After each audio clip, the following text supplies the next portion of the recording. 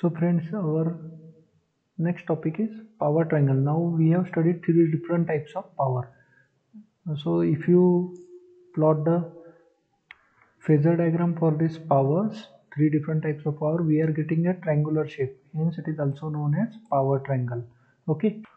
So power triangle can be drawn from the phasor diagram. So we are taking the example of RL circuit. So we know that in RL circuit on x-axis we are having voltage okay?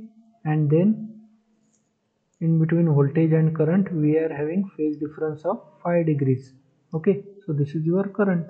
Now you are dividing this current into two components cos phi and sin phi. Cos phi is on x-axis sin phi is on y-axis now what I am doing? I am multiplying each parameter with voltage okay? So what you are getting? Vi sin phi here you are getting vi cos phi and here you are getting v into i.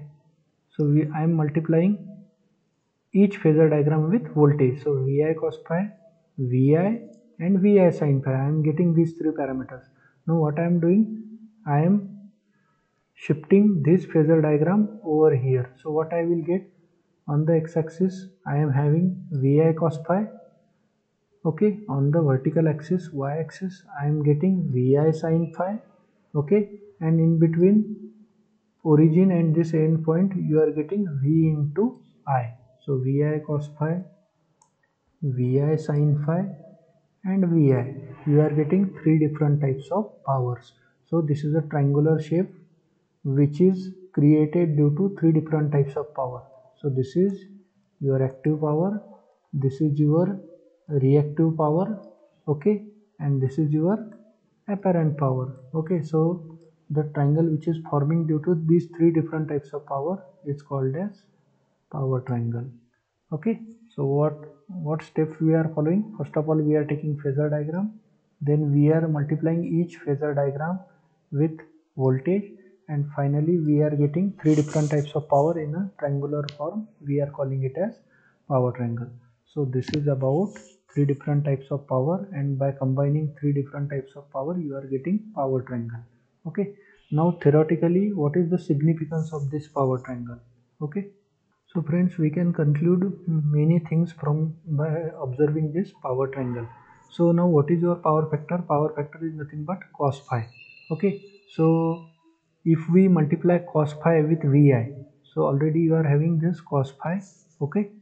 Just multiply and divide with vi so vi multiplied with cos phi is multiplied with vi and divided by vi okay so what you are getting? Vi cos phi upon vi so from this power triangle we can observe that what is vi cos phi? It is nothing but active power. And what is vi it is nothing but apparent power. So we can say that what is your what is cos phi? Cos phi is nothing but power factor. So what is power factor? Power factor is ratio of active power to the apparent power. Okay? So if you are having this power triangle you can calculate the power factor of the circuit. Okay? Now what is the next conclusion? If you look at this on x-axis you are having active power. On y-axis you are having reactive power. Okay?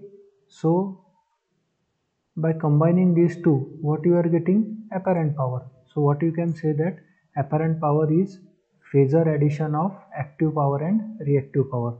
Okay so apparent power is phasor addition. So for while doing phasor addition what you have to take square means apparent power is equal to active power plus reactive power. Okay but since this is a phasor addition we have to square each and every component.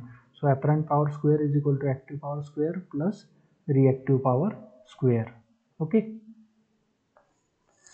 And what is the next conclusion now we know that what is power factor? Power factor is nothing but cos phi okay?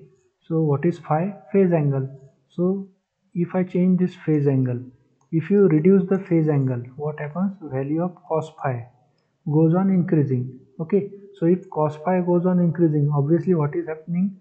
Active power is what? Vi cos phi. If cos phi is increasing what will happen? Active power will go on increasing okay? So if active power go on increasing what will happen apparent power will remain same. So what happens? Reactive power automatically goes on decreasing. So if cos phi increases reactive power reduces. Okay? And reactive power is what? Unwanted power. So what i have said reactive power should be as low as possible. So if you want to reduce the reactive power in the circuit unwanted power in the circuit what is the remedy? You have to increase power factor of the circuit. Okay and when reactive power is almost zero. So if you put zero over here if you make this reactive power zero what happens? Your apparent power is approximately equal to active power. So active power is approximately equal to apparent power. Okay and this is possible when your power factor is equal to power factor is equal to 1 but that is not possible always. Okay so what you have to do you have to make sure that your power factor should be as high as possible.